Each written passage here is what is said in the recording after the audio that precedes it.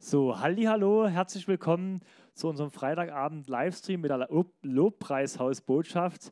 Wir waren ja heute Vormittag schon zwei Stunden hier aktiv im Rahmen des ökumenischen äh, Kirchentags aus Frankfurt und haben da an diesem 50 Stunden Lobpreis teilgenommen und hatten da hier Party in diesem Raum mit einer Stunde Kinderlobpreis und dann haben wir Erwachsene noch ein bisschen weitergemacht. Jetzt sind wir, wie da schon angekündigt, manche schalten vielleicht auch jetzt erst rein oder schauen sich das Video später an. Alles ist toll. Jetzt sind wir nämlich bei der Botschaft, wo es über den Himmel geht oder um den Himmel. Und dazu ist wie jede, jeden Monat mein lieber Papa Christfried Wendt wieder da und wird uns äh, wieder mit Begeisterung, ihr werdet sehen, das Wort auslegen und einfach zu diesem Thema äh, Gedanken und Auslegungen teilen. Das Wort äh, tut ja verschiedene Passagen dazu ansprechen und äh, man kann da, darüber auch unterschiedliche Auslegungen finden. Ich bin gespannt, wie, wie mein Papa, und ich weiß, dass es gut wird, das wieder verbindet, äh, dass man was von heute versteht, aber auch von dem, was mal kommt. Und ich habe das Thema mir auch gewünscht, so ein Stück weit, weil ich denke, in dieser heutigen Zeit, in der wir gerade sind, wo ich erst vorgestern mit den Nachbarn Gespräche hatte, hatte, wo sie mich gefragt haben, auf was man denn noch hoffen soll, nach dem, was man alles erlebt hat und wo eine gewisse äh, ja, Hoffnungslosigkeit ist und ein gewisses Suchen nach dem Sinn des Lebens, ist es natürlich die Antwort, die wir haben und das Thema äh, Himmel, denn darauf geht ja letztlich alles hinaus, dass Jesus wiederkommt und wir irgendwann das eigentliche Leben im Himmel beginnen werden. Und ich bin gespannt, was wir dazu heute erfahren und hören werden. Ich hoffe, es begeistert euch auch und nimmt euch mit, äh, ganz neu im Alltag auch die Freude daran zu entwickeln, dass selbst wenn man vielleicht gerade nicht so schöne Dinge erlebt, wir gemeinsam uns immer wieder daran erinnern dürfen und wissen dürfen, dass wir irgendwann im Himmel sein werden. Und wie wir es heute Vormittag schon hatten, dort wird es kein Leid und keine Krankheit mehr geben. Und Jesus wird alle Trauer in Freude verwandeln. Und darauf freue ich mich, im wahrsten Sinne des Wortes, auch jeden Tag neu so zu leben, in allem Widerstand und allen Herausforderungen. Denn wir haben wirklich eine Hoffnung, die weit über diese Welt hinausgeht. Ich spreche jetzt noch ein Gebet und dann geht es schon los. Jesus, ich danke dir, dass wir heute Abend wieder in diesem ja, etwas kleineren Rahmen zusammen sein können. Danke, dass wir dennoch aus deinem Wort hören dürfen. Danke, dass mein Papa wieder intensiv das Wort studiert hat und zu Papier gebracht hat, die Gedanken, die Offenbarung, die du ihm nicht erst in den letzten Wochen, sondern über Jahre geschenkt hast. Danke, dass wir heute dosiert, hochdosiert äh, davon wieder so viel äh, hören dürfen. Danke, dass es uns bereichert und uns einfach auch geistlich wachsen lässt. Und so bete ich, dass du den Abend segnest und ich bete, dass du Geist Gottes jeden Einzelnen, der jetzt zu Hause ist oder der das Video später anschaut, dass du ihm begegnest und dass du ihm die Wahrheiten des Wortes neu offenbarst und die Wahrheiten dessen, was kommen wird und was es auch heute für eine Ermutigung ist, das zu wissen, dass wir dem Himmel zusteuern. Danke so für deine Gegenwart. Danke, dass du durch deinen Geist unter uns bist und uns jeder, so wie er es braucht, auch die Dinge offenbart äh, an dem heutigen Abend. So segne uns den Abend und danke dafür. Amen. Ich sage noch ganz kurz am Anfang, bevor es was losgeht, wenn ihr uns als Lobpreishaus oder diesen Livestream unterstützen wollt, dann könnt ihr das gerne tun. Wir leben ja von Spenden und davon, dass uns Leute unterstützen, um all diese Dinge zu tun. Dazu könnt ihr gerne ich weiß nicht, ob es einen Link gibt, aber mindestens auf unserer Homepage oder wenn das Video dann hochgeladen wird, da steht auch immer unten, man kann direkt über so einen PayPal-Button spenden oder auf die Kontonummer vom Lobpreishaus uns was überweisen. Vielen Dank dafür äh, und jetzt übergebe ich das Wort an dich, Papa. Danke, dass du uns wieder mit, deinem, mit dem Wort dienst. Ja, liebe Mitsehenden und Mithörenden, Internet- oder Computerzuschauer, wir sind ziemlich schnell auf das Thema Himmel und Himmelfahrt gekommen, da wir ja auch gestern das Fest hatten. Äh, wobei es ja dort schon wieder verschiedene Anschauungen gibt. Die einen sagen Himmelfahrt, die anderen sagen Vatertag. Ich weiß nicht, welche Assoziationen du hast, aber man könnte es auch sehr leicht äh, verbinden, denn Jesus hat uns ja gelehrt, unser Vater im Himmel. Also Vatertag und Himmelfahrt hängen einfach zusammen. Zwei Seiten einer Medaille. Wir werden es heute noch genauer sehen und hören.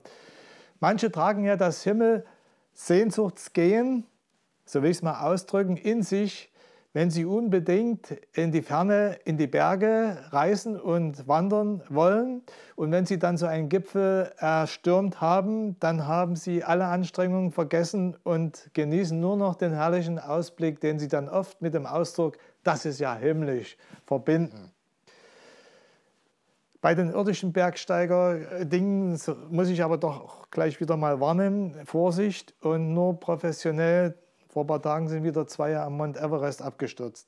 Das aber nur leider auch als Realität, aber nebenbei. Wenn es einen Himmel gibt, wie sieht es denn dort aus und was bedeutet das eigentlich für mich? Wie ihr seht, gehöre ich nun jetzt schon ein bisschen zum älteren Semester. Ich bin noch ein gelernter DDR-Bürger, im real existierenden Sozialismus aufgewachsen, aber ohne FDJ-Hemd aber in der atheistisch-kommunistischen Ideologie ziemlich äh, notgedrungen bewandert. Und dort gab es keinen Platz, weder für Gott noch für den Himmel.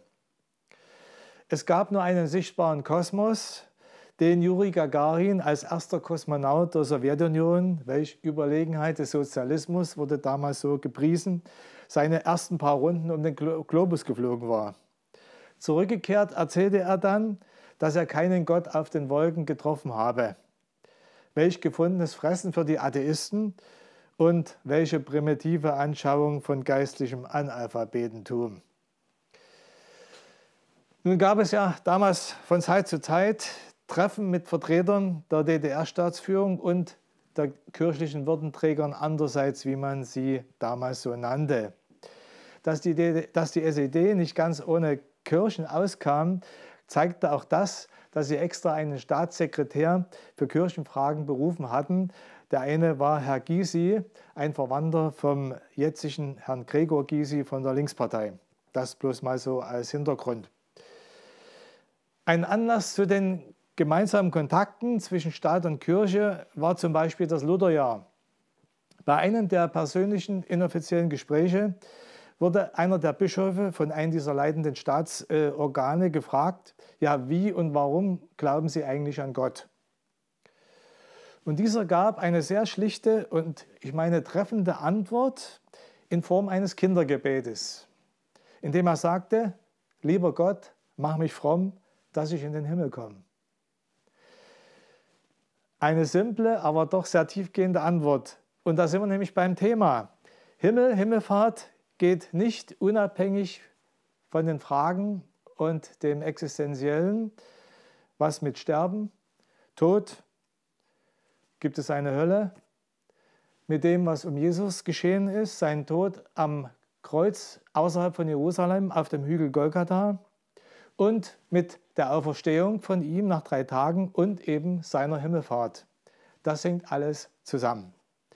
Ja, fragen sich manche, wenn es einen Gott im Himmel wirklich gibt, wie komme ich denn dann mit diesem Gott im Himmel irgendwie in Kontakt? Und wie komme ich zu ihm hin? Oder er vielleicht zu mir? Es gibt ja auch Lieder, die sagen, der Himmel kommt auf die Erde. Als kleines Kind lernte ich deswegen ein zweites Gebet, was ich glaube hier sehr genau hingehört.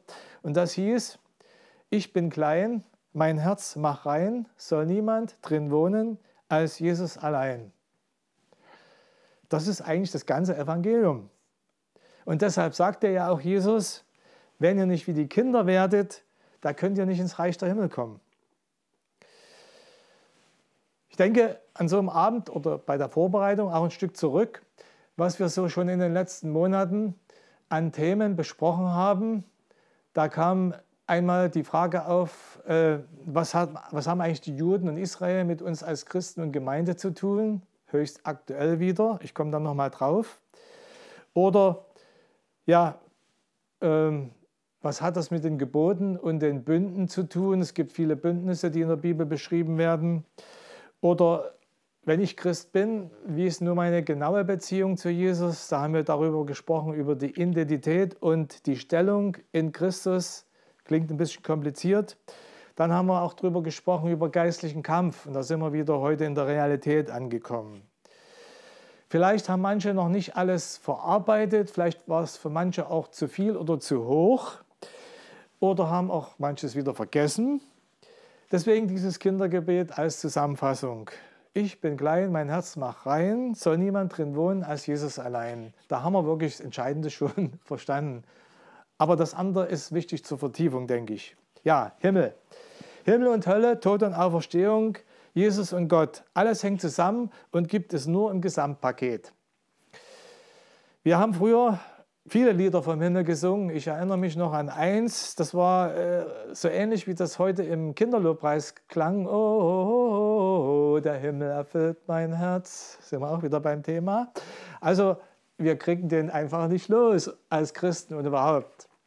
Ja, in den Lobpreisgottesdiensten haben wir dann andere Lieder genau vom Thema gesungen. Jetzt im Livestream äh, dienstags haben auch viele Lieder den Himmel und das, was damit zusammenhängt, zur Aussage. Unser Vater im Himmel. Das Reich Gottes, das Reich der Himmel, das war und ist immer Jesu Hauptthema schon gewesen, auch gleich ganz am Anfang. Als er äh, von Nazareth loszog, um seinen Predigtdienst zu beginnen. Da hören wir bei Matthäus im vierten Kapitel folgendes. Und als Jesus Nazareth verlassen hatte, kam er nach Kapharnaum, dem am See Genezareth liegenden Gebiet von Sebulun und Naphtali und ließ sich dort nieder. Das waren zwei Stämme von den zwölf Stämmen Israel, die so hießen. Von dort an begann Jesus zu verkündigen, indem er ausrief. Er proklamierte das. Denkt um, denn das Reich der Himmel ist nahe herbeigekommen. Und so verstehen wir vielleicht allmählich, dass mit der Himmelfahrt eigentlich sein ganzer Auftrag besiegelt und vollendet wurde, den er in den drei Jahren seines irdischen Tuns und Redens vollführt hatte. Er kehrte also danach wieder an seinen Stammsitz zur Rechten seines Vaters zurück. Und das begann mit dem Abschluss dieses dreijährigen Wirkens, nämlich indem er sich von seinen Jüngern verabschiedete. Der Evangelist Lukas hat das folgendermaßen beschrieben. Jesus führte sie, die Jünger, aber hinaus nach draußen auf einen Berg nach Bethanien, hob seine Hände auf und segnete sie. Und als er das gesagt hatte, während sie noch zusahen, wurde er nach oben gehoben und eine Wolke nahm ihn auf, weg von ihren Augen. Und während sie gespannt zum Himmel blickten, als er so hinging, siehe, da standen zwei Männer in weißen Kleidern neben ihnen, und diese sagten, ihr Männer von Galiläa, was steht ihr hier und seht zum Himmel? Dieser Jesus, der von euch weg in den Himmel aufgenommen wurde, der wird auf die gleiche Weise wiederkommen, so wie ihr in den Himmel hingehend gesehen habt. Es wird also sehr deutlich geschrieben, was damals zur sogenannten Himmelfahrt geschah. Es stellt sich daraus die Frage, in welchem Himmel, in welchen Himmel ging er denn nun und fuhr Jesus? Ob er fuhr oder gehoben wurde, ist ja egal. Es ist interessant, dass im vorderen Teil der Bibel, also im Alten Testament, oft schon darauf Bezug genommen wurde oder es sozusagen angekündigt wurde. Im Psalm 18, Vers 11 und im zweiten Buch Samuel 22, auch Vers 11, da heißt es, er fuhr auf dem Cherubengel und flog auf den Flügeln des Windes. Interessant, dass ähm, die Schreiber und die Gläubigen im Alten Bund äh, schon viele Einzelheiten geoffenbart bekamen, äh, wie Gott sich zu uns und überhaupt verhält und äh, dass er also über allen Dingen steht. Hier wird es zum Beispiel so ausgedrückt. An einer anderen Stelle äh, in dem Buch der Sprüche habe ich gerade heute noch eine interessante Begebenheit und äh, einen Abschnitt gefunden. Man muss sich das überlegen, dieses Buch ist ungefähr 900 Jahre vor Christus entstanden und auch nicht nur vom König Salomo geschrieben, sondern auch von anderen Gläubigen. Und da ist also einer erwähnt, der hat einen ganz lustigen Namen, der heißt Ittai, äh, der nicht mal zu den Juden gehörte, sondern aus dem Stamm Ismael wahrscheinlich stammte. Die hatten mit Gott nicht viel im Sinn, die waren ziemlich gottlos. Und eines Tages trifft ihn das Wort Gottes und er ist völlig berührt und sagt, ich habe bisher so sinnlos gelebt, so ohne Gott. Äh, ich war ja dumm wie ein Esel, steht wortwörtlich da. Und dann offenbart ihm Gott plötzlich, wer er ist. Und da sagt dieser eigentlich Ungläubige, aber plötzlich unter dem Einfluss des Heiligen Geistes äh, zum Beispiel folgende Worte. Wer stieg hinauf in die Himmel und stieg wieder hernieder? Wie ist sein Name und der Name seines Sohnes? Weißt du das? Wenn man überlegt von der Zeit damals, der wusste noch nichts von Jesus, was später kam, ist das wie eine Prophetie, die er aussprach, schon auf das Ereignis, äh, was wir jetzt äh, mit dem Thema behandeln. Gehen wir mal noch genauer äh, weiter. Die Bibel berichtet von verschiedenen Himmeln, sowohl von sichtbaren als auch von unsichtbaren. Im ersten Buch Mose, Vers 1 heißt es, im Anfang schuf Gott die Himmel und die Erde. Das göttliche Schaffen brachte also viele Himmel hervor. Die englische Sprache kennt deswegen auch mehrere Vokabeln für Himmel. Die deutsche ist ziemlich arm dran, die kennt nur einen Begriff, eben den Begriff Himmel. Nun kann man sagen, nun gut, in der Zwischenzeit haben wir als Ostdeutsche zumal eine gewisse Bereicherung des Himmelsbegriffs erfahren, denn durch den ersten Deutschen im All, Sigmund Jähn, wissen wir, dass es auch noch ein Jenseits gibt. Spaß beiseite. Im, Eng Im, Englischen kennen wir also mindestens drei Vokale, Vokabeln. Air, Sky und Heaven. Air kommt aus dem griechischen Aera, was Luft bedeutet. Und so ist er der Lufthimmel, aber auch schon der Weltraum mit gemeint. Denn wir kennen zum Beispiel die englischen Worte Airspace und alles andere, die also damit zusammenhängen. Ein sichtbarer Bereich. Dann der zweite Ausdruck Sky ist uns auch bekannt. Die Skyline, also der Horizont, Himmel und Erde, äh, wird so bezeichnet, aber ein sichtbarer Bereich weiterhin. Und dann kommt der englische Ausdruck Heaven. Und damit meinen die Englischsprachigen eindeutig den unsichtbaren Himmel Gottes. Das Ziel, was auch für uns Christen anvisiert wird. Schon zur Schöpfung der sichtbaren Himmel müsste man bei dem Thema Himmel, was wir heute ein bisschen bewegen und äh, bedenken, eigentlich noch ein ganzes schönes Stück ausführlicher werden. Aber das würde heute das Thema sprengen, obwohl es höchst interessant ist. Zu Mose sagte nämlich Gott einmal, dass ihm die Himmel und die Himmel der Himmel gehören. Ich wiederhole das nochmal. Gott sagte zu Mose, mir gehört der Himmel und die Himmel der Himmel und die Erde und alles, was in ihr ist. Im Hebräischen heißt das Hashamayim Ushme Hashamayim. Alle drei Worte stehen im Plural. Grammatisch wird so ein Wortkonstrukt Superlativ bezeichnet. Die Astronomen drücken das wieder mathematisch und ganz anders aus. Bloß mal ein ganz kleiner äh, Aspekt davon ist ein höchst interessantes Thema. Mit den heutigen technischen Mitteln, also mit den Sternwarten, speziell mit der europäischen Sternwarte in Südchile oder auch mit dem Weltraumteleskop Hubble, ist man jetzt und zurzeit in der Lage, 10 hoch 11, nämlich 100 Milliarden Galaxien zu entdecken und zu berechnen die wiederum mit 10 hoch 22, man hört da gar nicht wieder auf mit Nullen schreiben, Sterne beinhalten. Also es ist wissenschaftlich festgestellt, es gibt 100 Milliarden Galaxien. Und eine davon ist unsere, nämlich die Milchstraße. Und die hat wiederum mehrere Milliarden Sterne. Nur diese eine Milchstraße.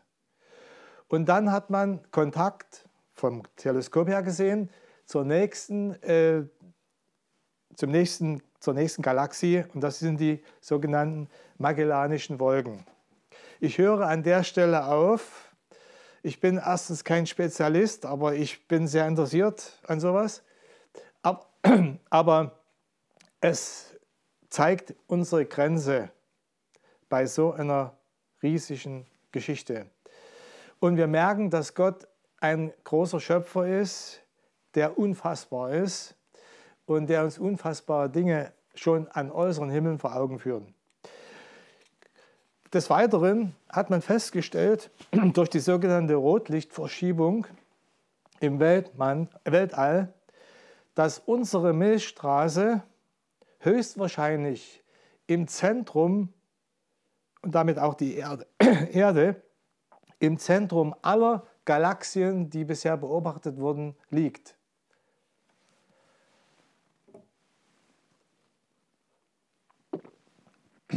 Ist das ein Zufall?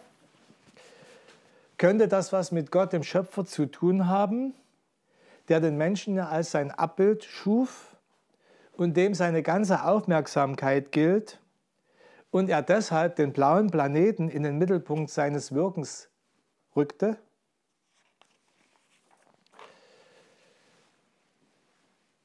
König Salomo, einer der größten und bekanntesten jüdischen Könige, der Sohn von König David, wurde geschenkt, in Jerusalem den Tempel zu bauen, den Gott geplant hatte und über David vorbereitet hatte. Das geschah im Jahr 958 vor Christi Geburt, also auch wieder zeitlich ganz schön schon weit zurück. Und dieser König Salomo seine Weisheit ist ja berühmt, äh, sprach ein sehr interessantes Gebet zur Einweihung dieses Tempels. Das steht im 1. Königebuch Kapitel 8. Ich lese mal vor. Dann stand Salomo vor dem Altar des Herrn gegenüber der ganzen Israelgemeinde und breitete seine Hände zum Himmel, zu den Himmeln auf, indem er sagte: Jahwe, du Gott Israels.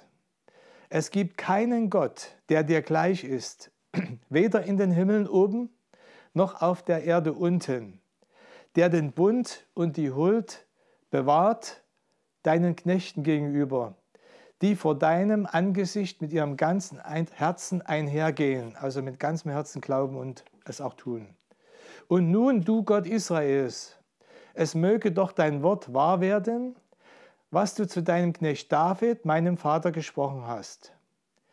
Denn wohnt Gott etwa wirklich auf der Erde? Siehe die Himmel und die Himmel der Himmel können dich nicht fassen. Hier zitiert Salomo wieder den Mose. Wie viel weniger dieser Tempel, den ich erbaut habe. Mögest du dich aber trotzdem zum Gebet deines Knechtes und zu seinem Flehen wenden. Jahwe mein Gott und auf den Hilferuf und auf das Gebet, welches dein Knecht betet, vor deinem Angesicht hören, und zwar heutigen Tages. Wir merken, der Salomo hat schon eine sehr ehrfürchtige Erkenntnis und auch Haltung gegenüber Gott und dass eigentlich hier ein Wunder passiert bei diesem Tempelbau und jetzt, dass Gott sich seinem Volk so nähert, dass er im Tempel wohnen will und dann auch wohnte. Andere Bibelstellen haben das schon angekündigt und auch umschrieben. Zum Beispiel wird äh, im zweiten Mosebuch gesagt, Gott wohnt im Zeltheiligtum. Man hatte ja vorher erst ein Wanderzelt, bevor dieser feste Bau äh, entstand in Jerusalem. Gott wohnt im Tempel, das haben wir hier gehört im 1. Mose, äh, 1. Könige 8 oder auch im Psalm 43. Gott wohnt auf dem Berg Zion, Psalm 9 und Jesaja 8. Gott wohnt unter den Kindern Israels, 2. Mose 29 und 4. Mose 35. Gott wohnt auch über dem Volk, also so als Schutz. Er wohnt auch im Himmel. Zahlreiche Bibelstellen, ich sage nur eine, 1. Mose 21, Vers 17 und Psalm 11, Vers 4. Und dort wird das verbunden. Da, dort heißt es im Psalm 11, Vers 4, Jahwe ist in seinem heiligen Tempel, Jahwes Thron ist im Himmel.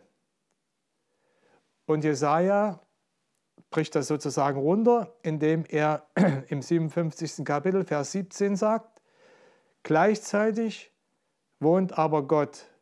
Und deswegen ist er nicht räumlich zu begrenzen. Sowohl im Himmel als auch im Heiligtum, damit meint er den Tempel, und im demütigen Herzen des Menschen.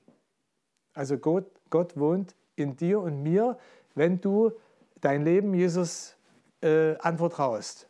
weil Jesus der Sohn Gottes ist und er sagt, ich bringe alle Botschaft von meinem Vater zu euch. Als Juri Gagarin also in den sogenannten Weltraum flog, da hat er eigentlich nur etwas Staub gewischt über der Erdoberfläche, wie meine Mutter immer zu sagen pflegte. Jesus aber ging in den unsichtbaren Himmel, in den Thronsaal Gottes, seines Vaters, zurück. Wir merken, wir brauchen verschiedene Blickwinkel. Den einen, der liegt uns im Blut, das ist das Sichtbare. Und der andere, das ist das, was uns von Gott offenbart werden will, die unsichtbaren Himmel und der unsichtbaren Bereich Gottes. Der Apostel Paulus unterstreicht das im 2. Korintherbrief, Kapitel 4, Vers 18. Da sagt er, wir schauen nicht auf das, was man sieht, sondern auf das, was man nicht schaut. Denn das, was man vor Augen sieht, ist zeitlich, und damit meinte er vergänglich. Aber das, was man nicht sieht, ist ewig. Hier wird der griechische Ausdruck Ionos gebraucht, der immer für Welt, Zeitalter, für Ewigkeit benutzt wird. Jesus also ging in diesen Himmel, Himmel, Himmelsbereich, müssen wir sagen, also in den Thronsaal Gottes, auf seinen angestammten Platz, auf die rechte Seite des Vaters Thrones wieder zurück, woher er gekommen war. Wie dieser äh, Nicht-Jude schon damals voraussagte, er ging hinauf und er kommt auch wieder. Was war der Auftrag hier nachdem, bevor er zum, in den Himmel wieder ging. Es gehört dazu, dass wir sein Hauptwerk einfach nochmal betrachten. Das war Jesus Sühnetod am Kreuz. Und damit hat er uns durch sein Blut gereinigt und geheiligt, damit wir, damit du in den Himmel kommen kannst, was das Kindergebet ausdrückt.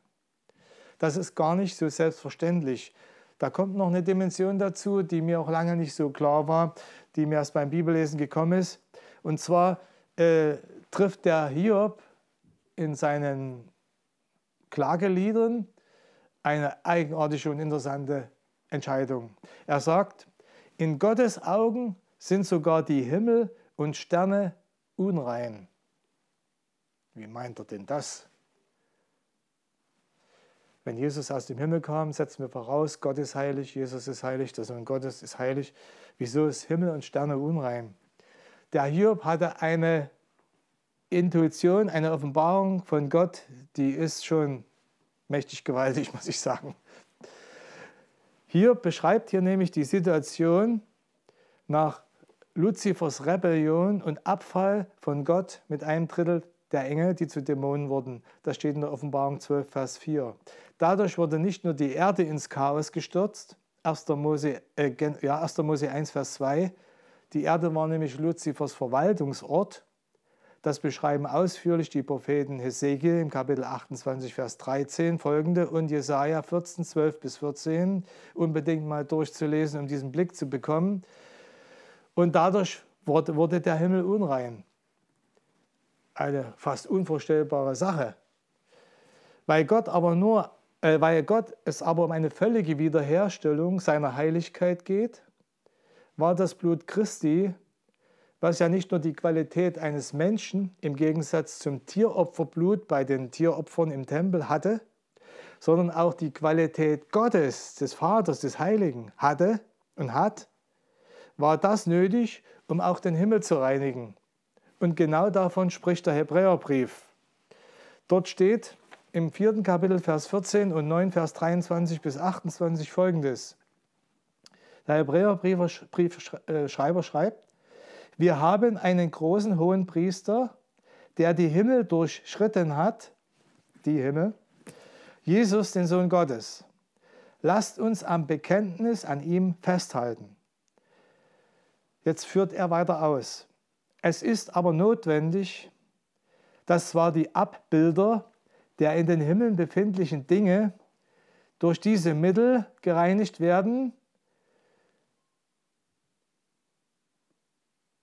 die himmlischen Dinge selbst aber durch bessere Opfer gereinigt werden mussten.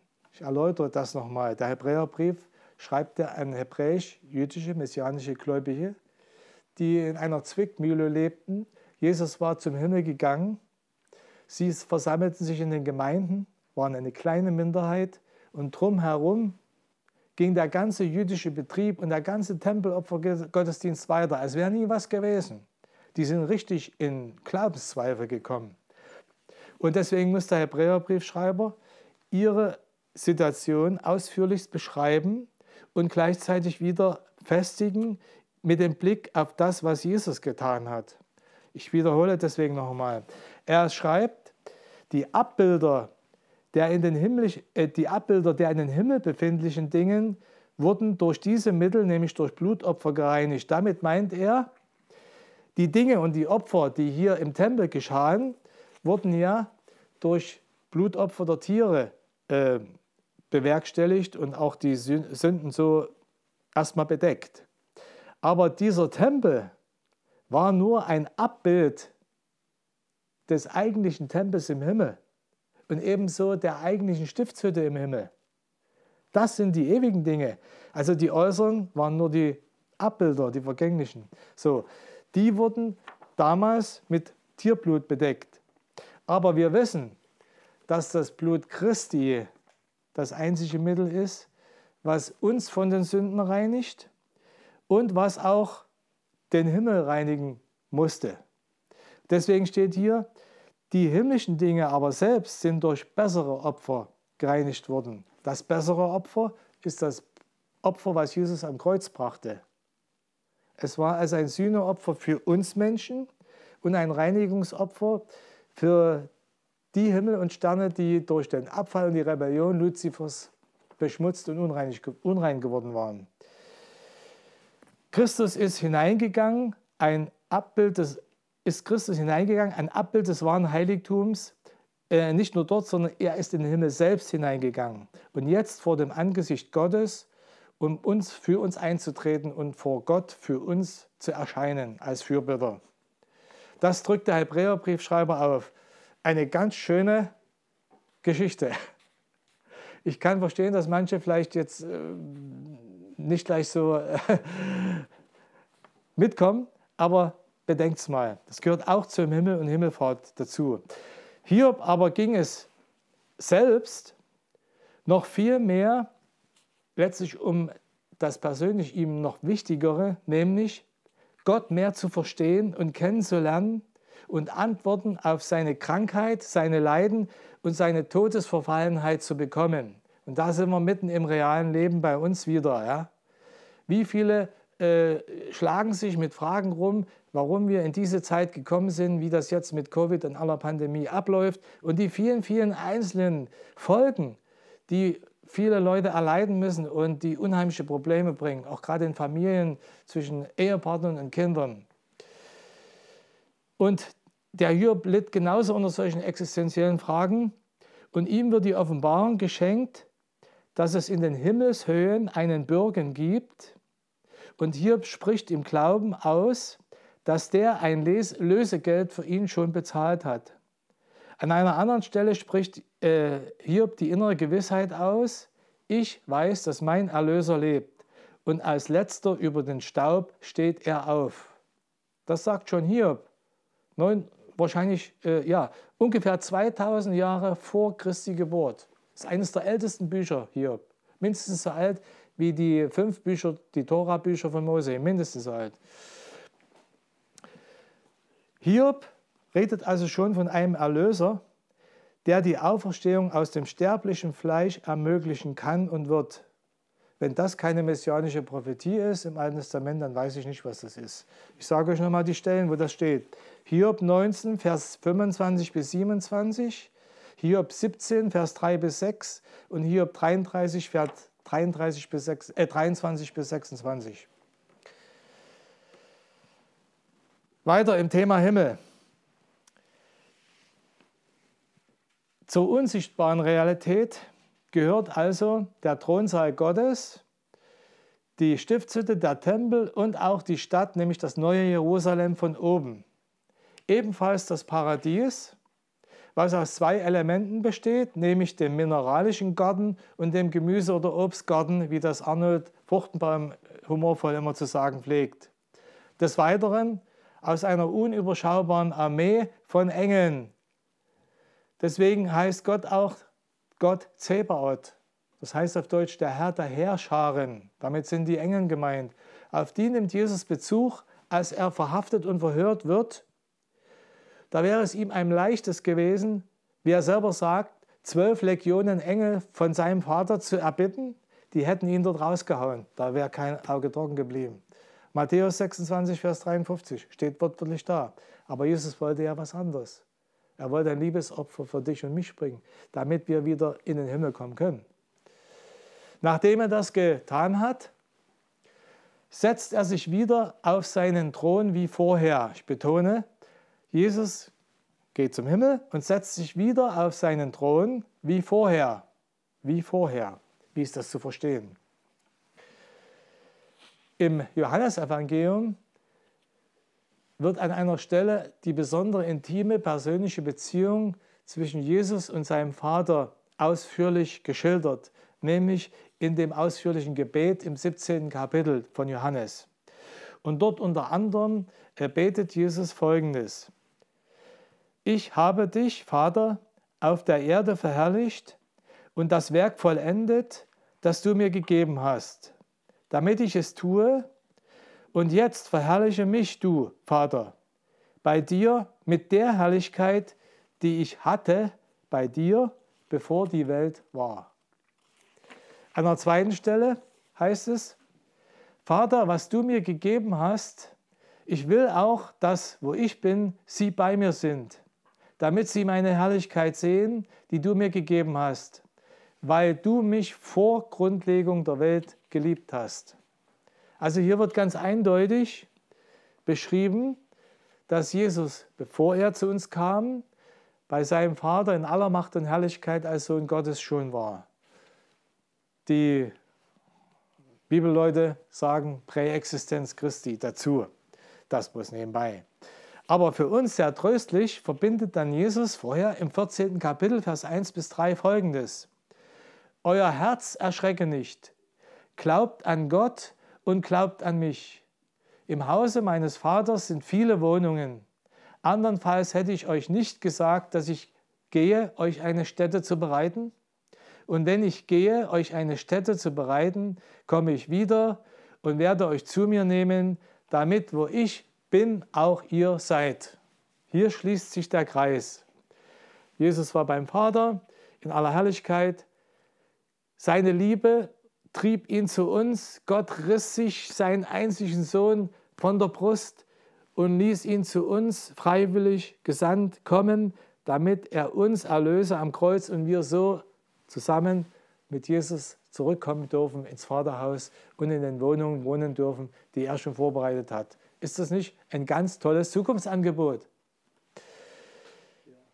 Der Prophet Daniel hat das in seiner Vision diese sogenannte Präexistenz Jesu, auch schon gesehen.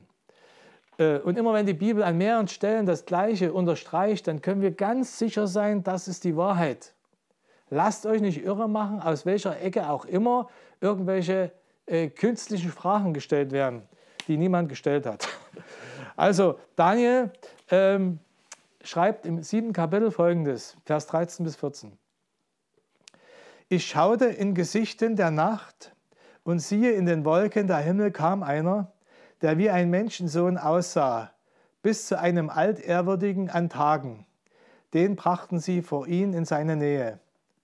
Und ihm, nämlich diesem Menschensohn, wurde Macht und Ehre und Königreich gegeben. Und alle Völker, Nationen und Zungen dienten ihm. Seine Macht ist eine ewige Macht, die nicht vergeht, und sein Reich wird nicht zerstört werden was hier komprimiert der Daniel gesagt und uns äh, weitergibt, das ist einfach phänomenal. Und das ist irgendwie so tröstlich in dieser chaotischen Zeit, wo alles wegrutscht. Jesus ist der Menschensohn. Er liebt uns immer noch und er wird die Sache und den Plan Gottes, wenn er wiederkommt, bis zum Ende führen. Und jedes Knie muss sich ihm beugen, egal welche Religion.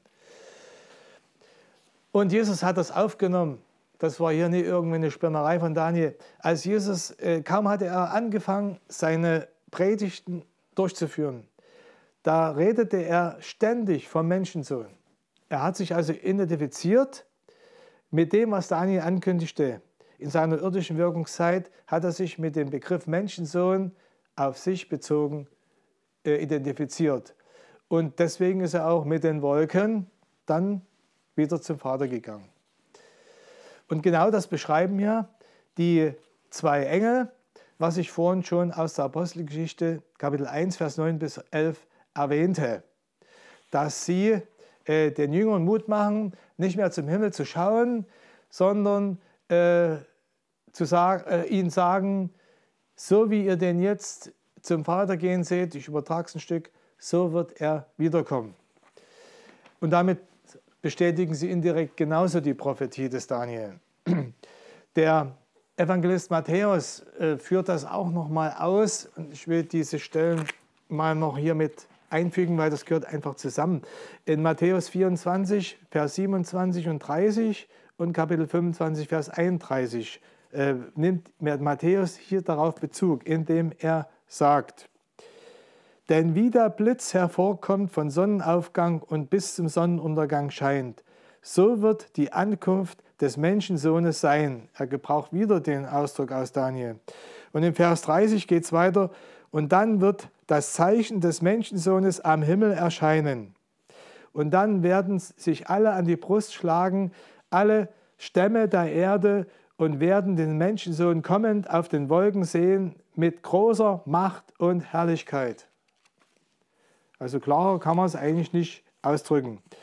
Und im Kapitel 25, Vers 31 wird es nochmal genannt, wenn aber ihr den Menschensohn in seiner Herrlichkeit kommen seht und alle Engel mit ihm, dann wird er sich auf den Thron seiner Herrlichkeit setzen.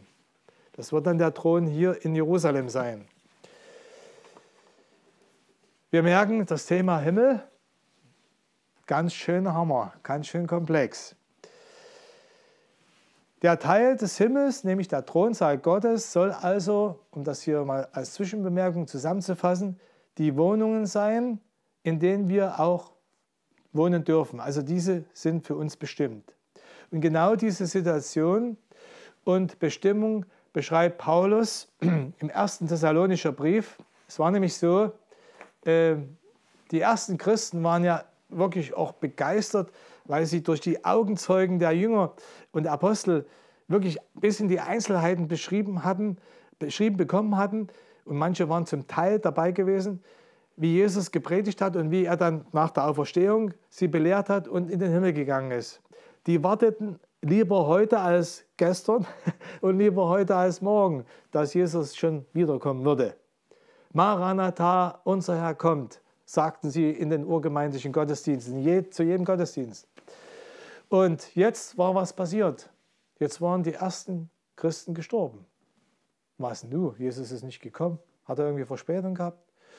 Was ist nun los? Die waren richtig konsterniert, die waren geschockt, die waren traurig, die waren niedergeschlagen. Und da sagt Paulus, abwarten, Moment. Und dann schreibt er ihnen im Kapitel 4, Vers 13 bis 18 folgende Verse. Wir, wir, also seine Mitarbeiter und er, wir wollen aber, Brüder, betreffs der Entschlafenen, dass ihr nicht in Unkenntnis und betrübt seid, wie die übrigen Weltmenschen, die keine Hoffnung haben. Denn wenn wir glauben, dass Jesus gestorben und auferstanden ist, so wird auch Gott die Entschlafenen durch Jesus mit ihm führen. Denn dies sagen wir euch mit einem Wort des Herrn dass wir, die Lebenden, die bis zur Ankunft des Herrn übrigbleibenden, keinesfalls den Entschlafenen zuvorkommen werden.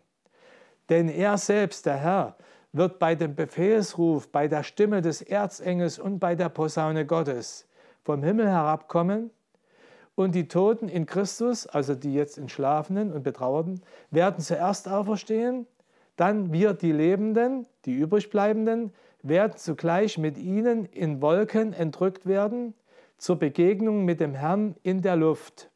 Und so werden wir für immer beim Herrn sein. Das ist dann die himmlische Hochzeit, die angekündigt wird. Deshalb tröstet euch mit diesen Worten. Übrigens steht hier, wir werden dem Herrn in der Luft begegnen, das griechische Wort aera. Era, er, er, Englisch. Also stimmt alles überein. Äh, auch die Bibel an vielen Stellen stimmt alles überein. wenn wir sie mit den Augen Gottes durch den Heiligen Geist lesen. Ja, und das war das Trostwort und das ist auch für uns das Trostwort. Das ist ja Thema Tod und Himmelfahrt hängt irgendwo zusammen. Ne? Wo werden wir sein? Was ist mit unseren äh, Verwandten und Großeltern und, und äh, Kindern, die im Mutterleib gestorben sind? Es gibt so viel Trauer. Und wir dürfen aber vom Wort Gottes her uns durch viele Dinge trösten lassen. Interessant ist ja hier bei Daniel, um das nochmal äh, zu verbinden, die Beschreibung, äh, wo er den Menschensohn sieht, dass da steht, er kam zu dem alt an Tagen Seienden. Eigenartiger Ausdruck. Im Hebräischen ist das aber die, der Ausdruck für einer, der ewig existiert. Im Deutschen kann man diesen Ausdruck dem alt an Tagen Seienden etwas missverstehen. Bei alt an Tagen assoziieren manche einen alten Kreis, der auf den Wolken sitzt. Und mit dieser etwas primitiven Vorstellung muss auch der Gagarin in den Kosmos geflogen sein. Denn er hatte ja nichts anderes dort gesucht. Natürlich nicht gefunden, ist logisch. Äh, und manche äh, sind ein bisschen spöttisch und haben deshalb das Wort Gott spöttisch in guter Opa total taub verballhornt. Das Hebräische aber, wie gesagt, meint was ganz anderes, nämlich einer, ein stattlicher, prächtiger, altehrwürdiger im Sinne von ewig und beständig, einer, der allmächtige Autorität besitzend und das jüngste und letzte Gericht ausüben wird. Das ist der, zu dem der Menschensohn kam. Das ist was ganz anderes. Deshalb würde ich mal sagen, auch etwas ähm, lustig, das Wort Gott würde ich so buchstabieren, großer Allrounder tagtäglich. Das mal bloß so aus. Etwas Humor, muss ja auch sein. Schon immer spielt die Dimension des unsichtbaren Himmels in der Bibel also eine wichtige Rolle. Noch ein paar Beispiele dazu. Henoch wird als gerechter Gläubiger und Prophet noch lebend in den Himmel entrückt. Im Hebräerbrief wird das bezeugt da schreibt der Hebräerbriefschreiber im 11. Kapitel, ab Vers 5, Aufgrund von Glauben wurde Henoch entrückt, sodass er den Tod nicht sah. Und er wurde nicht mehr in Klammer auf der Erde gefunden, deswegen, weil Gott ihn entrückt hatte. Denn vor der Entrückung ist er mit dem Zeugnis bedacht worden, Gott wohlgefällig gelebt zu haben. Es ist interessant, dass Gott viele spezielle Lösungen für Menschen hat. Vor allen Dingen für die, die ihm vertrauen. Vor allem für die, die mit ihrem ganzen Herzen und Leben sich ihm weihen und glauben, dass er handeln wird. Dort hat Gott ganz spezielle Lösungen. Und die sind meistens nichts anderes als Wunder. Und das ist das Schöne. Das ist das Wunderbare.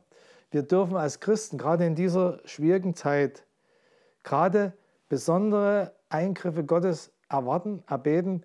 Wir dürfen Wunder erwarten und erleben.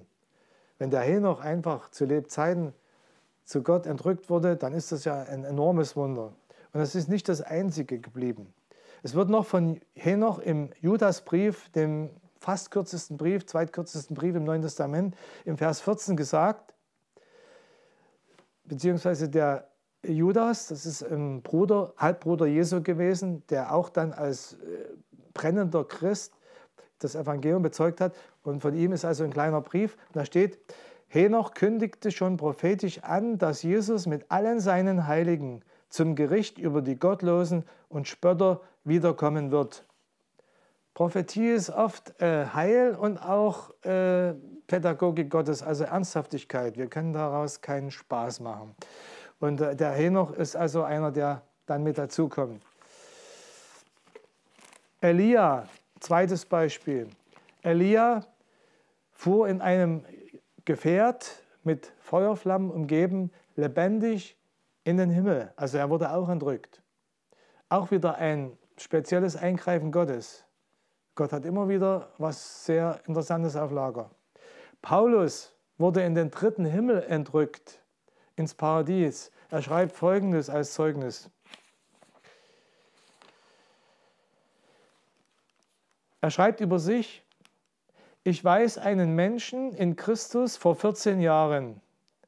Ob im Leib, ich weiß nicht, oder außerhalb des Leibes, ich weiß nicht, Gott weiß es, dass der Betreffende entrückt wurde bis in den dritten Himmel. Und ich weiß von dem so beschaffenen Menschen, ob im Leib oder außerhalb des Leibes, ich weiß es nicht, Gott weiß es, dass er entrückt wurde in das Paradies und hörte unaussprechliche Worte, die einem Menschen zu sagen nicht erlaubt sind.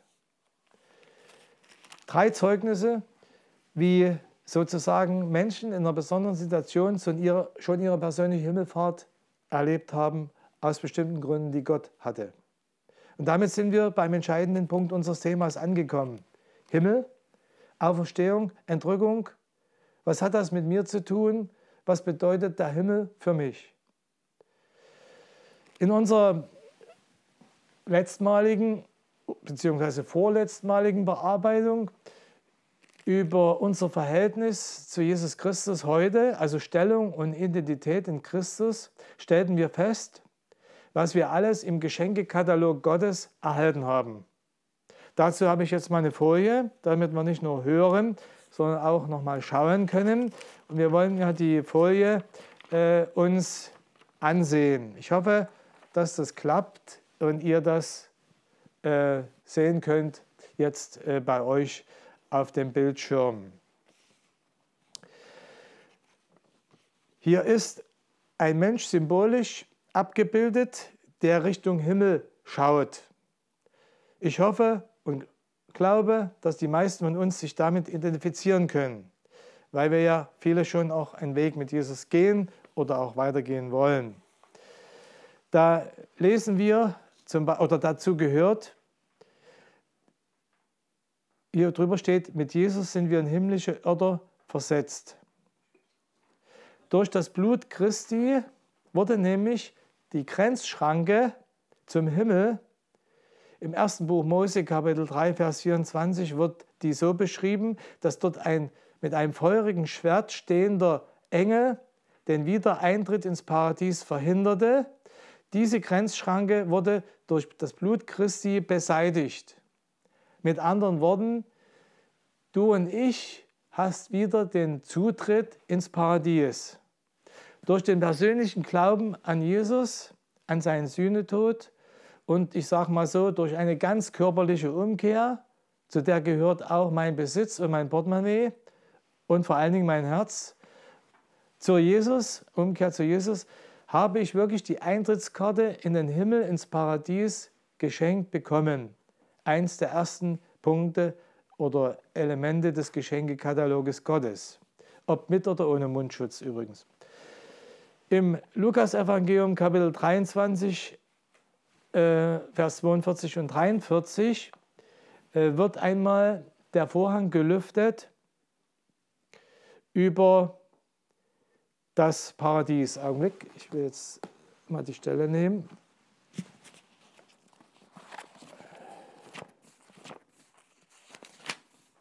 Lukas 23, Vers 42 und 43.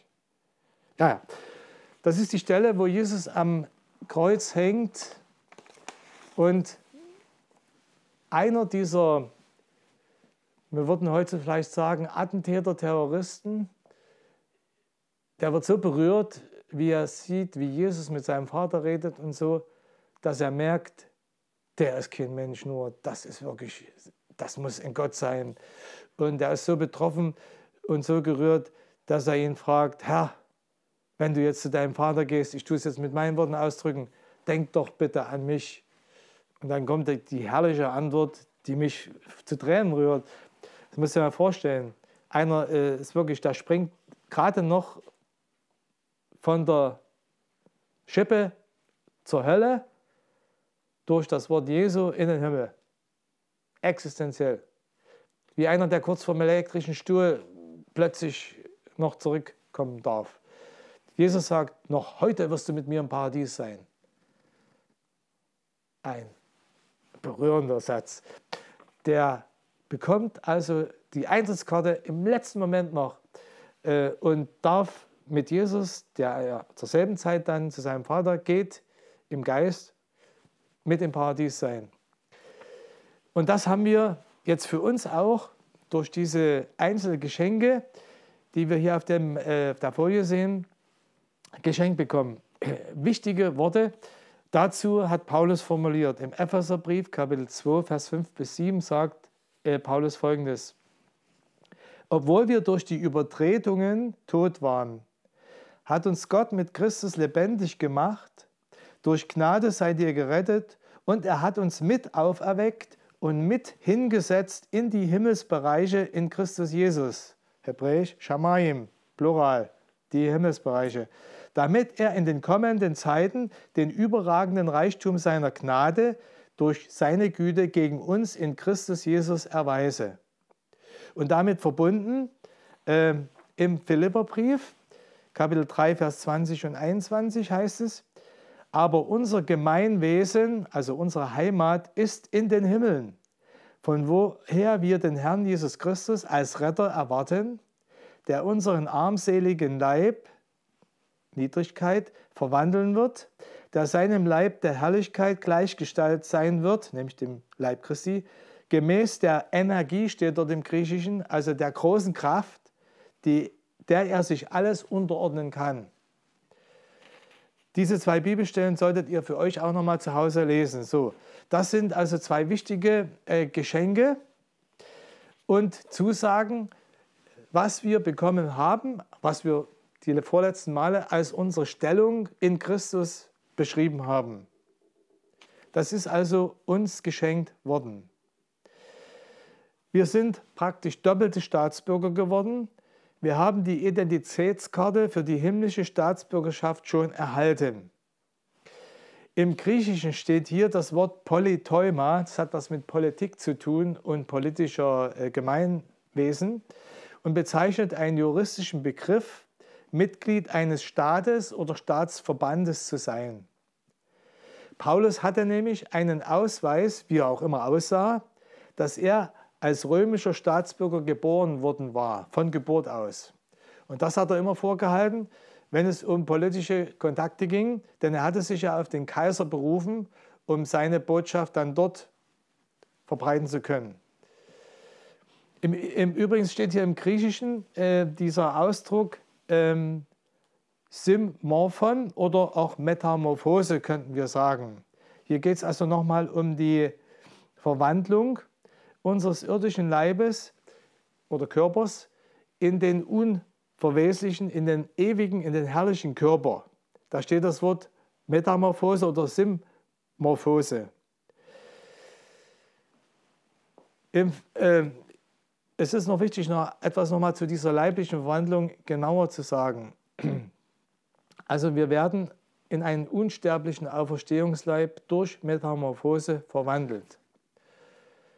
Eine Hilfe ist mir da, werden manche vielleicht schmunzeln, diese schöne äh, pädagogisch und auch äh, wissenschaftlich oder wissentliche Sendung der Anna und die wilden Tiere. So eine Kindersendung, weiß nicht, ob die jemand kennt, äh, ist zu empfehlen, gerade jetzt in Corona-Zeit, wo die Kinder zu Hause dann rumdebsen und man nicht mehr weiß, was man machen soll nehmt den äh, Internet oder den Computer und schaltet euch mal diese Sendung ein. Die hat viele Sendungen gemacht und eine Sendung um geht es um die Schmetterlinge. Und dort wird mal so schön bildlich dargestellt, wie die Metamorphose von einer Raupe in einen Schmetterling geschieht. Wenn du den Schmetterling siehst und weißt die Geschichte nicht, du kommst nie drauf, dass das mal eine Raupe war. Es ist phänomenal. Schöpferwunder. Gott hat da was sich gedacht. Denn er wollte hier bildlich etwas darstellen, was noch viel gewaltiger für uns Menschen da ist und zutrifft. Nämlich eine Metamorphose unseres ganzen Körpers, Seele und Geist sind eingeschlossen, sage ich da noch was dazu, äh, in einen Auferstehungskörper, der dieselbe Qualität hat wie der von Jesus nach seiner Auferstehung. Hängt alles mit der Himmelfahrt zusammen. Wir kommen nicht nur so in den Himmel. Wir kommen nicht einfach so hier, wie wir sind mit unseren drei Klamotten in den Himmel. So, äh, in der Bibel, im ersten Kapitel und zweiten Kapitel, wird etwas zu diesem Prozess gesagt. Es geht um den Zusammenhang und Prozess von Leib, Seele und Geist und wie das transformiert wird in den Auferstehungszustand. Wir fangen mal dort an, wie Gott das begonnen hat. Da steht im 1. Mose, Vers 27, Gott schuf den Menschen zu seinem Abbild und zu seinem Bilde. Zum Bilde Gottes schuf er ihn. Steht zweimal im Kehrvers, sage ich mal so. Und das hebräische Wort heißt bara. Und das Wort bara ist ausschließlich das Wort für göttliches Schaffen, für eine göttliche Schöpfung.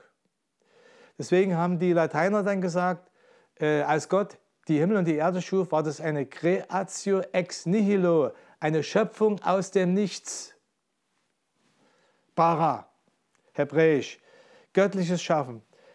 Wir Menschen sind ein Abbild Jesu, denn es ist nämlich Jesus, der das Abbild ist für uns, der Sohn Gottes, also doch Gottes, aber beides. Äh, und wir sind also das Abbild und damit sind wir einmalig äh, durch das göttliche Schaffen. Jetzt kommt, äh, manche sagen, oder einige, die mit der Bibel sich intensiv beschäftigt haben, die reden von einer komplementären Ausdrucksweise. Was ist denn das nur wieder?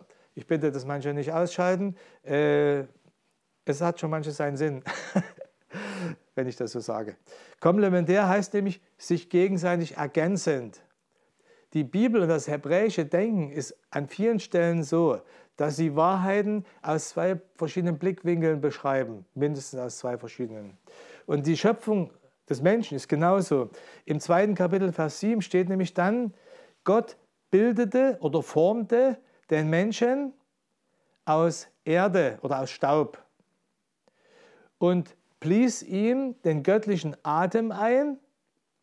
So wurde der Mensch zu einer einmaligen Seele, zu einer einmaligen originalen Persönlichkeit. Ich wiederhole, da schuf Gott den Menschen in seinem Ebenbild, im Ebenbild Gottes schuf er sie, äh, schuf er ihn, Entschuldigung, männlich und weiblich schuf er sie. Was anderes finde ich hier nicht. Und im zweiten Buch Mose, äh, ersten Buch Mose, Kapitel 2, Vers 7 steht, und es bildete Gott den Menschen aus Staub von dem Erdboden und er blies in seine Nase, in des Menschennase, den Hauch des Lebens oder den Lebensgeist oder auch das Lebensprinzip des, in, das, in den menschlichen Körper hinein. So wurde der Mensch zu einer lebendigen Seele.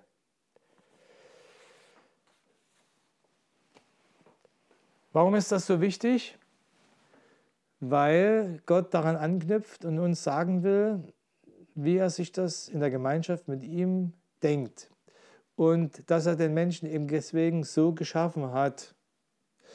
Im Psalm 139 wird das auch auf eine einmalige Weise äh, uns mitgeteilt.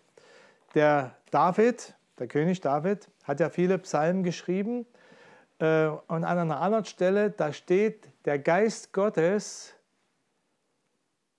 hat mich erweckt und mir Offenbarung geschenkt, dass ich das so sehen und niederschreiben konnte. Ich habe es jetzt mal frei äh, wiedergegeben. Ich kann euch die Bibelstelle irgendwann mal raussuchen. Also da wird deutlich, dass David auch ein Prophet war und eine Inspiration von Gott hatte. Nur das kann man, vor dem Hintergrund kann man nur diesen Psalm 139 verstehen. Ich werde es euch jetzt vorlesen, auf welche Verse es mir ankommt. Verse 13 bis 16. Es geht um die Schöpfung von uns Menschen.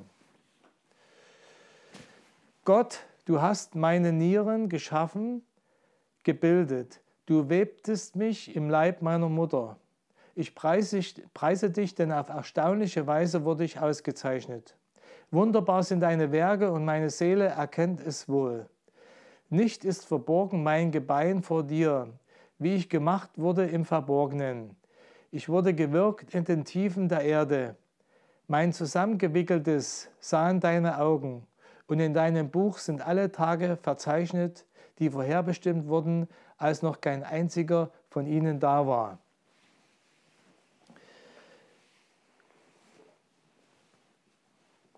ich habe gedacht, wir müssen nochmal dieses Wunder der menschlichen Schöpfung voraussetzen, damit wir das, den zweiten Teil des Wunders, dass Gott den Menschen verwandelt, damit er in den Himmel kommen kann, besser verstehen.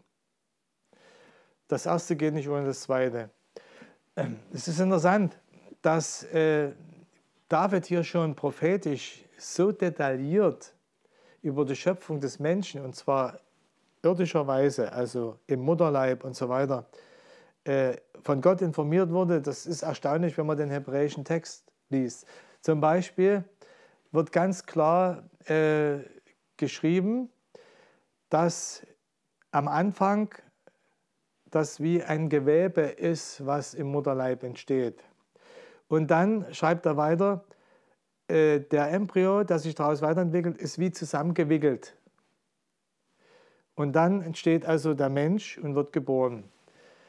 Äh, ich fand das deshalb so toll, weil wir nämlich in der Schule damals im Sozialismus und in den sozialistischen Biologiebüchern äh, Folgendes gesagt bekamen. Und zwar wurde uns suggeriert die Kurzform der darwinistischen Evolution. Ich habe die Bilder noch vor Augen. Also dieses Zusammengeknäulte, was äh, jetzt, äh, David hier richtig gut beschreibt, dieses Embryo im Anfangsstadium, wurde nämlich als Lurch gedeutet. Und da haben die uns einreden wollen, äh, ja, der Mensch äh, durch, durch, durchläuft im Mutterleib nochmal die Kurzform der Evolution, am Anfang ein Lurch, am Ende dann ein Mensch. Heute hat die Medizin natürlich schon längst durch Fotografien und einzelne Details das völlig bestätigt, was David schon immer sagte. Der Mensch ist von Anfang an ein Mensch. Er durchläuft verschiedene embryonale Entwicklungen. Am Anfang sind die Zellen wie so verwebt. Dann entsteht dieser, das zusammengeknollte Embryo. Und dann entwickelt sich immer weiter, bis der Embryo dann zum Menschen, also als Mensch geboren wird. David hat das schon alles durch den Heiligen Geist niedergeschrieben wenn man es nur beachtet hätte. Und dann wurden uns solche wissenschaftlichen Märchen erzählt. Das mal bloß so dazu. Weil Gott, wenn er am Anfang ein Wunder tut und den Menschen schafft, dann tut er auch das zweite Wunder und verwandelt den menschlichen Körper in einen Auferstehungsleib und bringt uns so in den Himmel. Versteht ihr? Das ist alles in Zusammenhang. Durch die Wiedergeburt aus Wasser und Geist, hier sind auch so Anklänge an die Entstehung des Menschen. Ne? Im Mutterleib ist ja auch äh, Wasser, also wie heißt es, äh, na ihr wisst selber, Fruchtwasser. Es ist auch wichtig, dass der Mensch so entstehen kann. Und geistlich sagt, Jesus, äh, sagt Paulus wieder, der Mensch wird durch Wasser und Geist, oder Jesus sagt es auch, wiedergeboren. Und damit werden wir Staatsbürger des Reiches der Himmel und bekommen einen ewigen gültigen Stempel.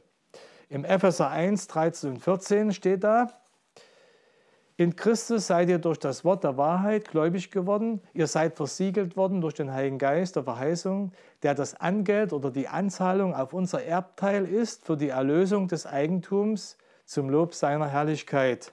Wir Menschen sind Gottes Eigentum und werden erlöst durch ihn.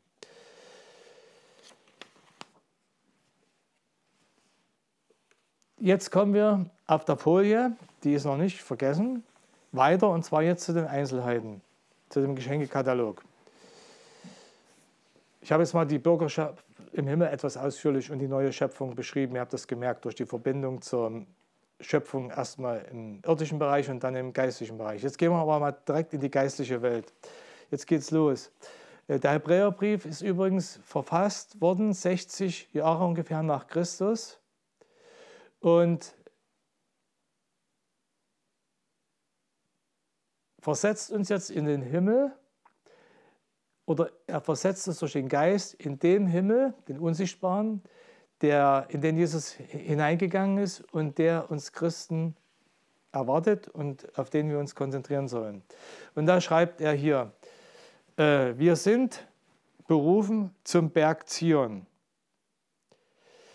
Wir sind berufen zur Stadt Gottes, des himmlischen Jerusalem. Myriaden, also viele Zehntausend von Engeln befinden sich dort. Wir sind berufen zur Festversammlung, zum himmlischen Gottesdienst, steht hier. zu einer Festversammlung, links, ich bin jetzt auf dem linken. Ähm, und zwar wird dieser Gottesdienst in der Offenbarung, ich kann jetzt nicht ins Einzelne gehen, ausführlichst beschrieben. Interessant ist aber, dass die Wirklichkeit, die Realität im irdischen abgebildet ist, nämlich in Israel, Berg Zion, Jerusalem, Stadt Gottes. Und es ist kein Zufall, dass wir jetzt gerade wieder einen massiven geistlichen Kampf um diese geistlichen Wahrheiten, die viele nicht sehen, die sich im irdischen abspielen, aber einen geistlichen Hintergrund und eine Ursache haben, erleben. Ich weiß nicht, ob ich euch bei einem der letzten Male, doch beim Thema Israel, glaube ich, äh, gesagt habe, dass eigentlich der ganze Kampf um Israel und um die Juden, der Antisemitismus, eine geistliche Ursache hat, nämlich in dem Gegenspieler Gottes, in Satan, der unbedingt die Zeugen Gottes, nämlich die Juden, aber auch uns Christen, auf dieser Erde bekämpfen will bis zum Blut und vernichten will. Das ist die Ursache für das, was wir jetzt im Nahostkonflikt wieder neu aufgeflammt erleben. Es geht hier nicht um Politik, es geht hier um Gott. Und Antisemitismus ist eigentlich Antijudaismus, der sich nämlich gegen den Gott Israels und auch gegen Jesus Christus, dem Sohn Gottes, richtet. Das ist die eigentliche Ursache. Und deswegen werden nicht nur in Israel die Synagogen angebrannt, sondern neuerdings unsere Synagogen in Deutschland, nicht neuerdings, sondern logisch durch alle diese Antikräfte, auch jetzt in, bei uns in Deutschland. Und manche wundern sich noch. Man kann sich nur wundern, wenn man nicht versteht, dass sich hier ein geistlicher Krieg abspielt. Und wir können ihn nur verstehen, wenn wir die Bibel studieren. Wir müssen aufwachen, wir Christen. Es geht nicht bloß um äußere Schöpfungserhaltung oder was so äh, beim Kirchentag besprochen wird. Ich habe da nichts dagegen. Aber wir müssen die, die wichtige Wahrheit, die wirklich jetzt dran ist, in den Mittelpunkt bringen und auch aussprechen. Ja? Und äh, ich habe so gedacht, dass wir hier ein kurzes Gebet einflechten weil das viel zu aktuell ist, was wir hier besprechen. Es ist absolut aktuell. Äh, wir Christen sind berufen, alles das zu ererben und wir gehen im Glauben auf das zu, was ich gerade gesagt habe, auf das Original, was im Himmel ist. Aber wir können es nicht ohne die Vollendung, die das Volk Israel erleben wird und damit ohne die Verbindungen, die hier im irdischen auch von Gott geschaffen wurden. Es steht beim Propheten Jesaja, Gott hat Zion gegründet. Jesus sagt im fünften Kapitel von Matthäus, Jerusalem ist die Stadt des großen Königs. Versteht ihr? Äh, wir kommen gar nicht umhin als Christen, diese beiden Sachen zusammen zu sehen und zusammen zu schauen und damit auch richtig geistig umzugehen. Deshalb würde ich einfach jetzt äh, einflechten in Gebet. Herr, du hast uns als Christen berufen zu deinen Söhnen und zu deinen Kindern. Wir sind eingefropft in die Verheißungen, die du deinem Volk Israel, den Juden, gegeben hast. Und äh, wir sind deswegen auch wie eineige Zwillinge zusammengebunden, äh, weil du der eine Gott bist und Vater. Und du hast uns berufen, deine Nachfolger zu sein. Wir bitten dich, so wie es Paulus existenziell geschrieben hat, dass du die Decke wegnimmst über deinem Volk, die du berufen hast durch die Erzväter, die Glaubensväter. Und du hast schon im Jakob auf der Himmelsleiter gezeigt, worum es geht. Es geht darum, dass wir in den Himmel kommen, dass wir gerettet werden. Und du hast Jakob deswegen Israel genannt, den Gotteskämpfer. Und deswegen bitten wir dich, dass sie erkennen ihre wahre Berufung und sie ausüben. Und dass du sie trotzdem gleich jetzt schon gebrauchst in deinem Plan, auch wenn wir manches nicht verstehen, auch wenn sie es vielleicht unwissend tun oder noch nicht in der Erkenntnis, die du haben möchtest. Aber wir bitten dich einfach, dass du jetzt dort hineinwirkst und deinen Heilsplan wieder ein ganzes Stück und ein ganzes großes Kapitel voranbringst und sie ja in ihre Berufung kommen als Volk Gottes, als Streiter Gottes, aber im geistlichen Sinne. Und äh, das lernen, zu kämpfen, so wie du, Jesus, es deinen Aposteln uns gelehrt hast, dass wir es gemeinsam auch erleben. Schenke, Herr, dass wir da gerade in diesen Tagen wieder ein Stück weiterkommen. Und wir preisen dich, dass du deinen Plan einfach voranbringen wirst, dass du die Erlösung vollenden wirst aus Juden und Heiden und praktisch aus uns zu einem Volk gemacht hast. Darum bitten wir dich, dass äh, das geschieht und wir als Christen eifrig das umsetzen. Amen. Ja, und damit sind wir bei dem nächsten Punkt. Wir sind die Gemeinde der Erstgeborenen. Das ist jetzt auf der rechten Seite der, der Folie zu sehen.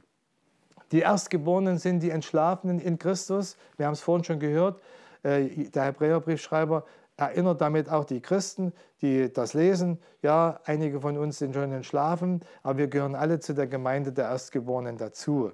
Des Weiteren zu Gott, dem Richter aller. Ich kann das jetzt nicht ganz so ausführlich schildern. Lest bitte einfach selber durch in der Offenbarung Kapitel 20, Vers 11 folgende. Dort wird das große Gericht Gottes über alle Menschen, egal wo sie herkommen, egal in welchem Zustand sie waren, geschildert. Es geht um Leben oder Tod, um Paradies oder um den Feuersee der ewigen Verdammnis. Wir sind zu den Geistern der vollendeten Gerechten gekommen. Auch ein interessanter Aspekt. Äh, Im Hebräerbrief wird übrigens Gott als der Vater aller Geister bezeichnet. Hier geht es aber noch darum, dass äh, es auch vor Jesus zahlreiche Gerechte gab, die dieselbe Qualität bekommen, wenn äh, Jesus wiederkommt. Das heißt, sie kommen auch ins Reich Gottes. Jesus hat auch darauf oft hingewiesen. Und im Alten Testament werden sie wortwörtlich genannt. Hiob, Noah, Henoch, alle Glaubensväter, also Abraham, Isaac und Jakob, Mose und noch viele andere mehr. Und Jesus fasst das an einer Stelle zusammen in Matthäus 23, Vers 35.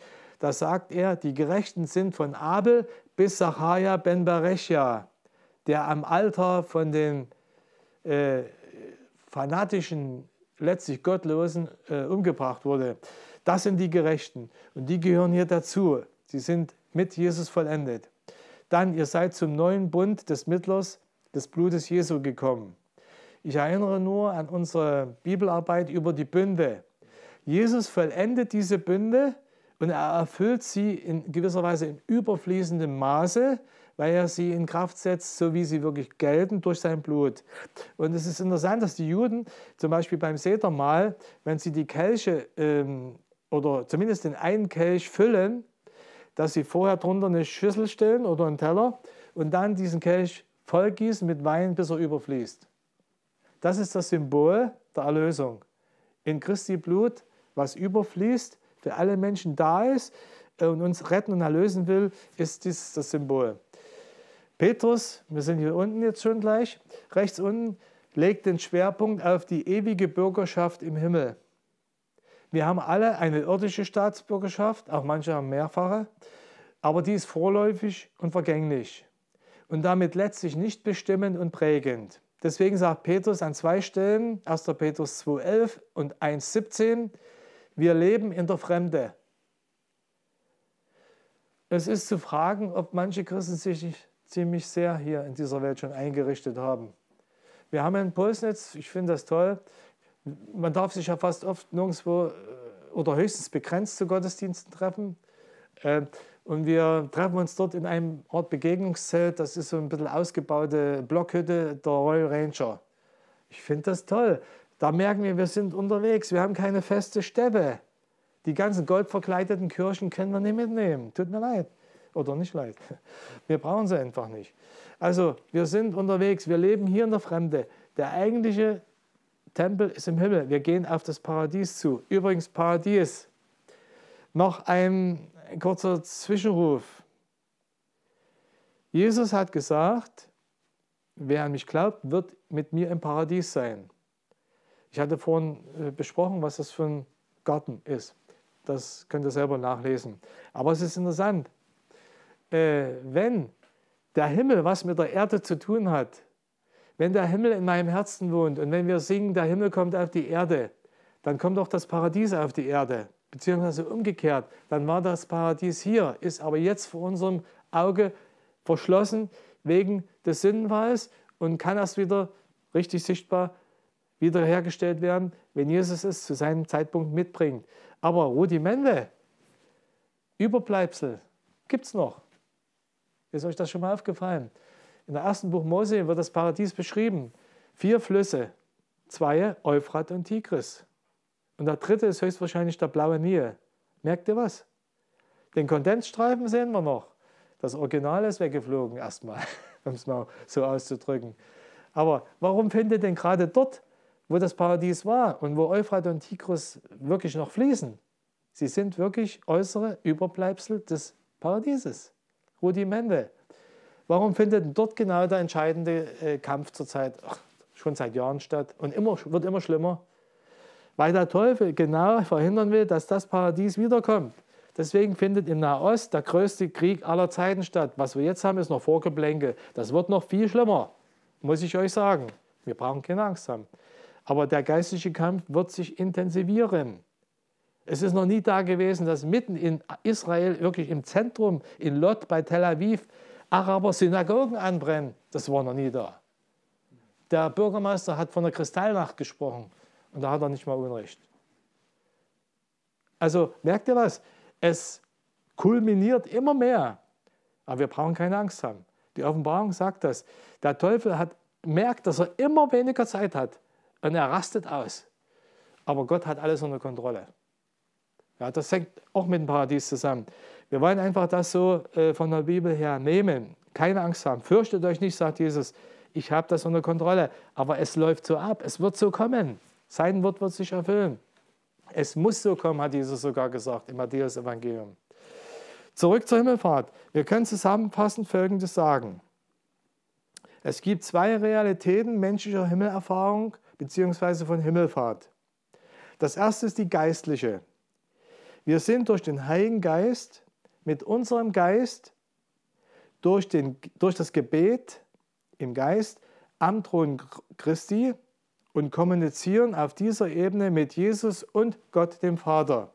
Stell dir das vor, Corrie den Bohm hat mal gesagt, Gott ist nur ein Gebet weit entfernt. Stell dir das einfach ruhig mal ganz bildlich vor. Im Geist sitzt du rechts von Jesus, du redest mit ihm im Geist, du betest mit ihm, du träumst von ihm und damit wird das Gebet von Jesus zu Gott auch weitergegeben. Das ist ein Fluss, eine Gemeinschaft. Wir haben äh, am, am, Dienstag haben Fräses uns sehr intensiv über Beziehung äh, gepredigt und auch so gebetet. Und die beste Beziehung ist die Vaterbeziehung, Abba Vater.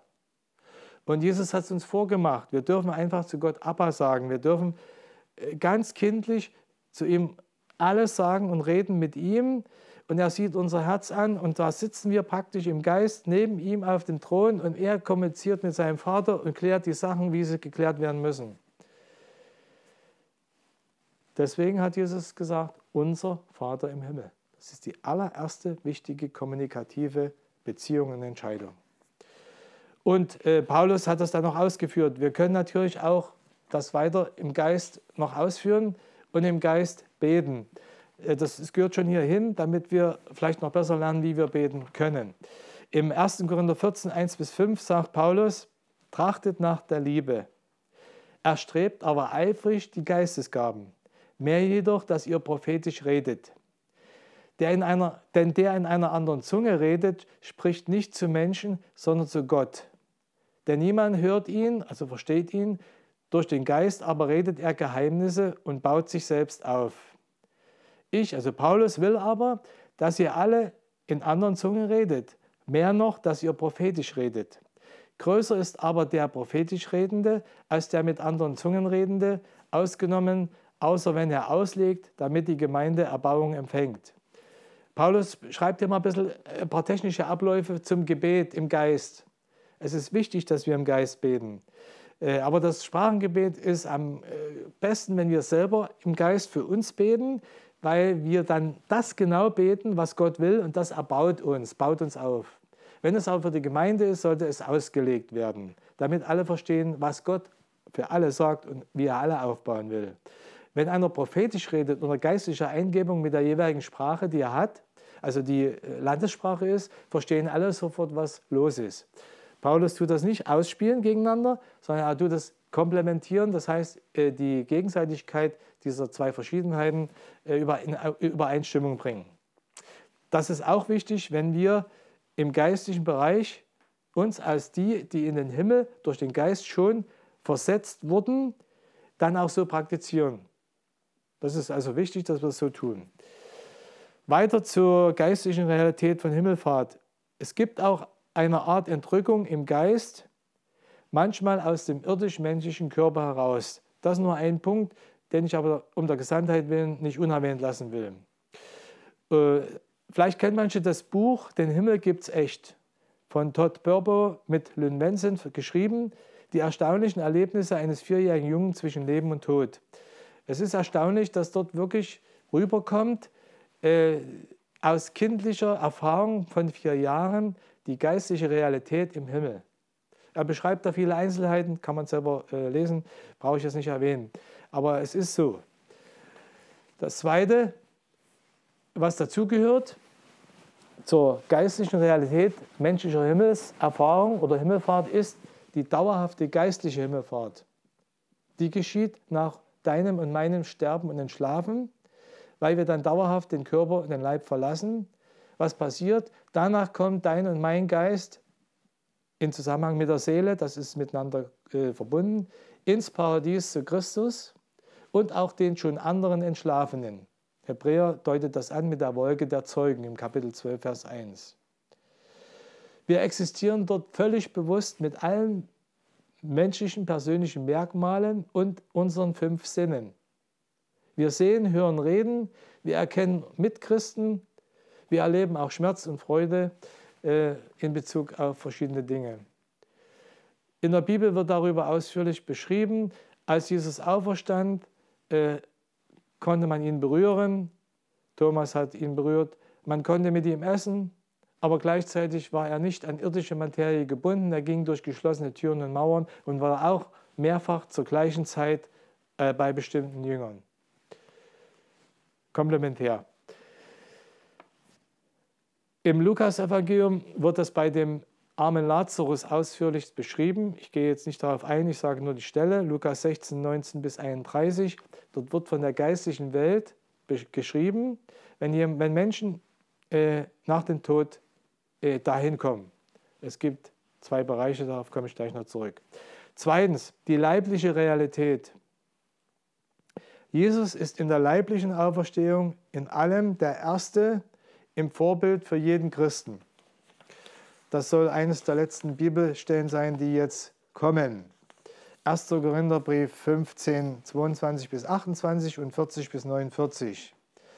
Da schreibt Paulus, wenn wir alle durch Adam sterben, werden auch alle durch Christus lebendig gemacht werden. Jeder aber in der eigenen Ordnung. Als Erstling, der Begriff kommt von der Erstlingsfrucht bei den Opfern. Abel gab von seiner Erstlingsfrucht äh, von den Schafen ein Opfer an Gott aus reinem Herzen. Das ist die Erstlingsfrucht. Christus ist die Erstlingsfrucht. Dann kommen die, die zu Christus gehören bei seiner Ankunft. Dann kommt das Ende, das Gericht, Offenbarung 21. Wenn er das Reich Gott dem Vater übergeben wird. Wenn er zunichte gemacht hat, jede Herrschaft, Macht und Kraft. Genau das, was Prophet Daniel, Kapitel 7, schon damals gesehen und angekündigt hat, dass das der Menschensohn tun wird.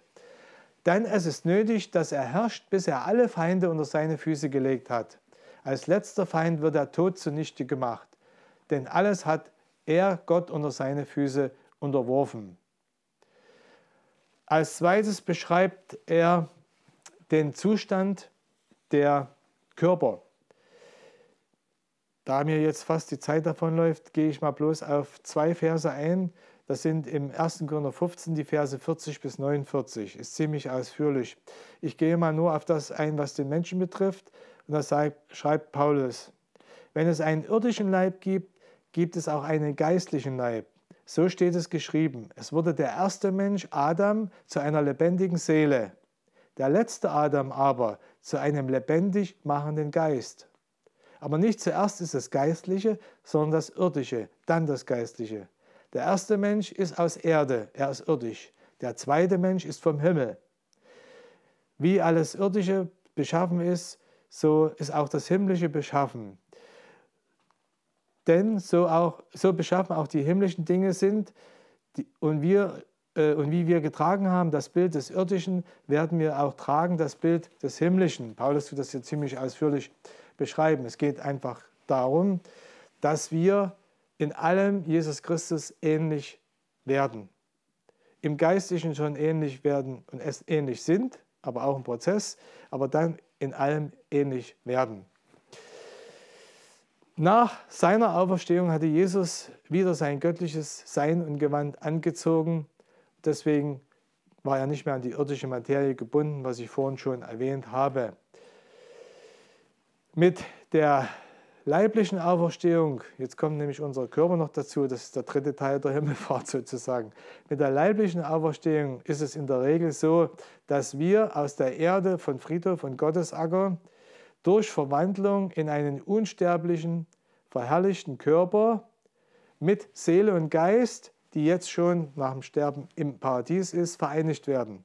Das ist wichtig. Da gibt es viele ganz komische Anschauungen. Aber die Bibel ist ganz klar. Und ich hoffe, dass wir das alle erleben. Ihr, die ihr zu Hause jetzt am Computer das hört und seht, und wir oder ich hier. Der Paulus hat es so beschrieben. Äh, er nennt das auch, das ist die erste Auferstehung. Das ist äußerst wichtig, dass wir uns darüber informieren.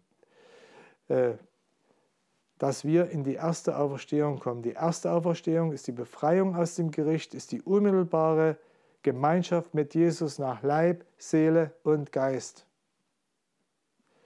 Und äh, Paulus hat sich danach gesehnt und ich denke, jeder von uns, auch ich sehne mich danach, dass ich das erleben darf, diese dreifache sozusagen Leib, Seele, Geist, Auferstehung und mit Jesus verbunden bin.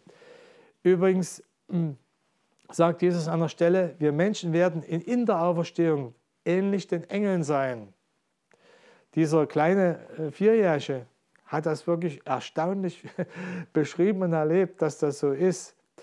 Das geht so weit, äh, Engel haben ja Flügel. Werden wir Flügel haben? Höchstwahrscheinlich ja. Schau dich mal im Spiegel dein Schulterblatt von hinten im Spiegel an.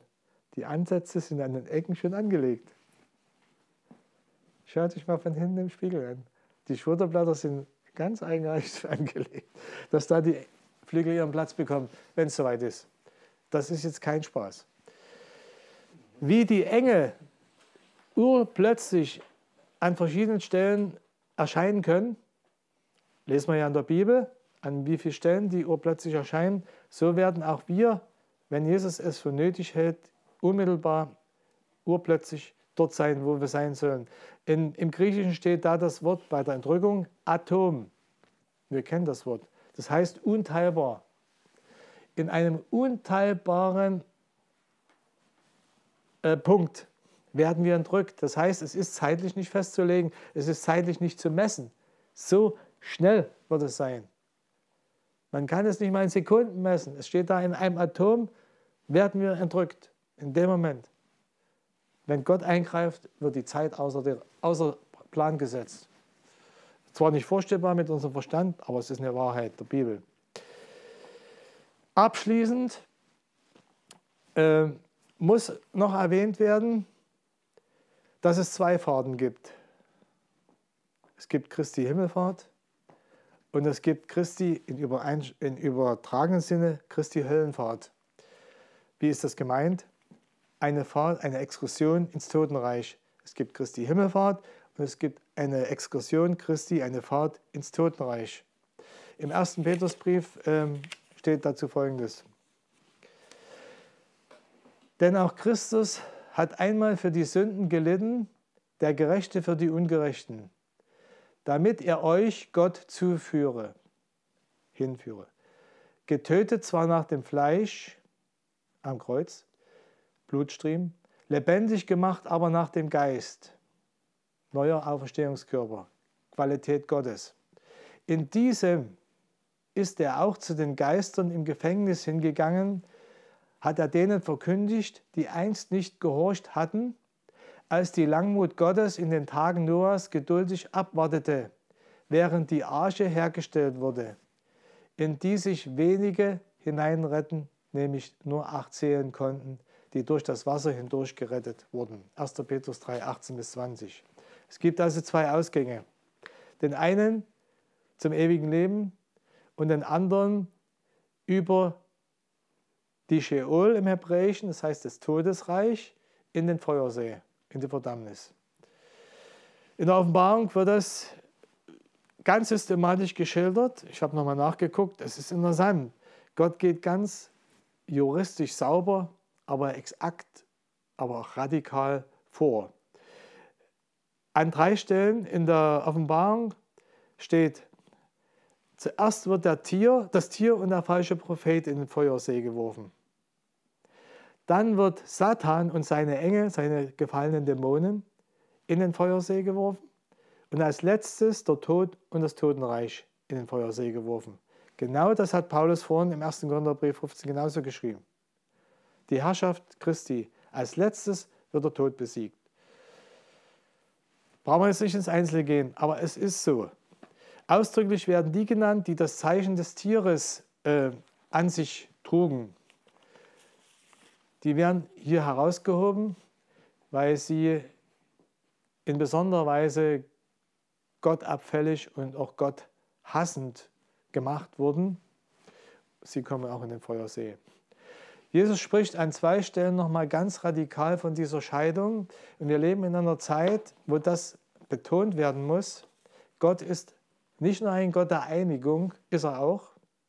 In Christus, im Leib Christi sind wir alle einig, nicht uniform, aber einig im Geist. Aber Gott ist auch ein Gott der Scheidung.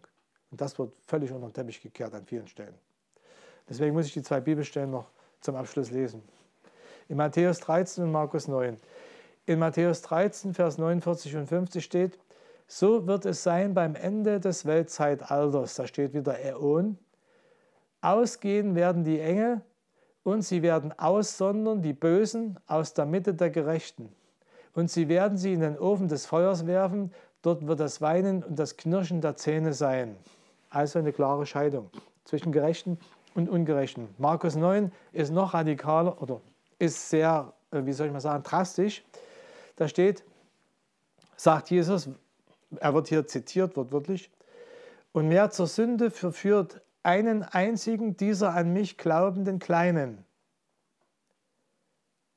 Besser wäre es für ihn, ihm würde ein Eselsmühlstein umgehängt um seinen Hals und er ins Meer geworfen. Und wenn dich deine Hand zur Sünde verführt, haue sie ab. Besser ist, dass du verstümmelt in das Leben hineingehst, als dass du mit zwei Händen in die Gehenna, also die Hölle, äh, Feuersee besser gesagt, gehst, in das unauslösliche Feuer. Und wenn dein Fuß dich zur Sünde verführt, haue ihn ab. Besser ist, dass du in das Leben lahm hineingehst, als dass du mit zwei Füßen in den Feuersee geworfen wirst. Und wenn dein Auge dich zur Sünde verführt, reiß es aus, Besser ist, du gehst einäugig ins Reich der Himmel, als dass du zwei Augen hast und in den Feuersee geworfen wirst, wo ihr Wurm nicht stirbt und das Feuer nicht erlöscht.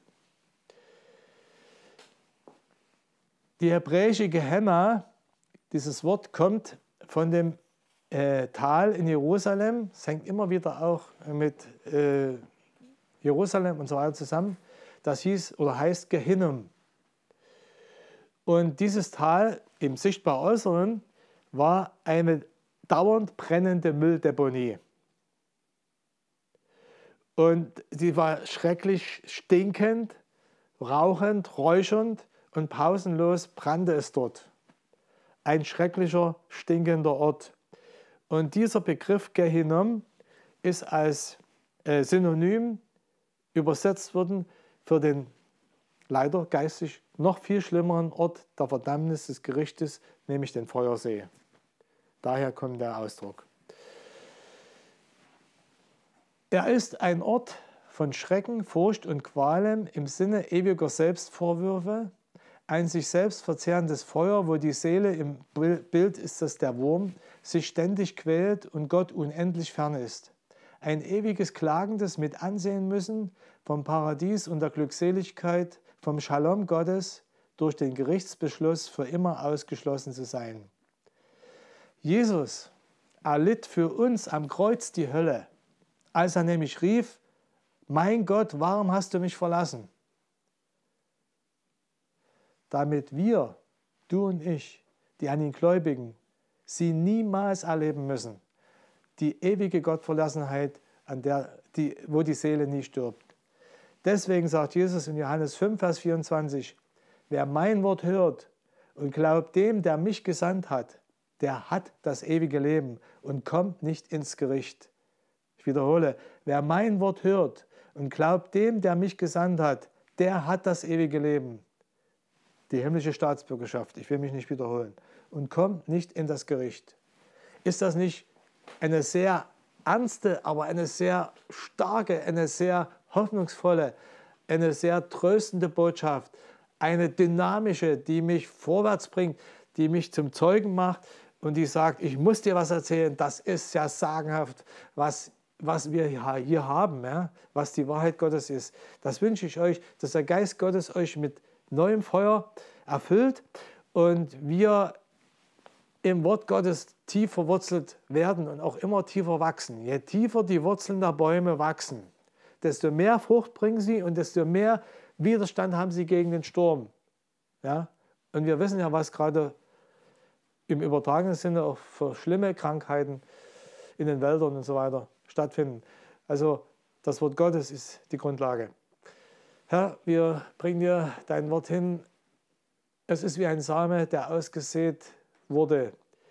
Ja, Herr, ich gebe dir hin, wo bei mir vielleicht Menschliches äh, dabei war, was jetzt nicht so richtig rübergekommen ist. Aber mache dein Wort zum Schatz, zur Frucht, zum Brot, und erinnere durch deinen Heiligen Geist alle Hörer an das, was dir und deiner Wahrheit so wichtig war und ist und lass sie es umsetzen und schenken uns ja allen die Kraft, es wirklich im Alltag umzusetzen als deine Zeugen, verbunden mit dem Größten, was du uns selber vorgelebt hast, deiner Liebe. Herr, komme mit deiner Liebe, deiner Agape in unser Herzen und lass einfach so das Feuer weitergehen. Amen. Amen. Vielen, vielen Dank. Ich finde auch das so stark, wie auch Daniel, wie du das ja gesagt hast, geschrieben hat, dass der Herr wiederkommen wird in Macht und, und Herrlichkeit. Wir, wir, äh, also mich ermutigt das, so wie du es gesagt hast, wirklich auch für den Alltag, auch in dieser Zeit immer wieder zu wissen, dass Gott als gerechter Gott letztlich richten wird und all dem, was ich nicht verstehe oder ungerecht finde, dass er dem gerecht, Gerechtigkeit schaffen wird.